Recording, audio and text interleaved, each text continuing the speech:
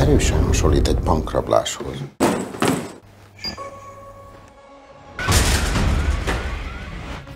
Nyisd ki az ajtó! Most!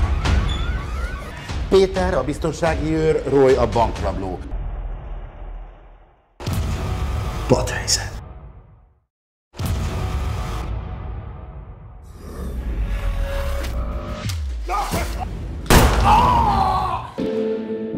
Át akartál verni.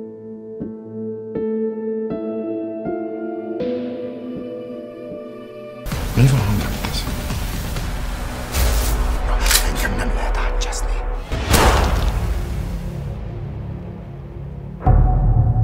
Tudod, milyen meló lesz nekem eltakarítani ezt a mocskot?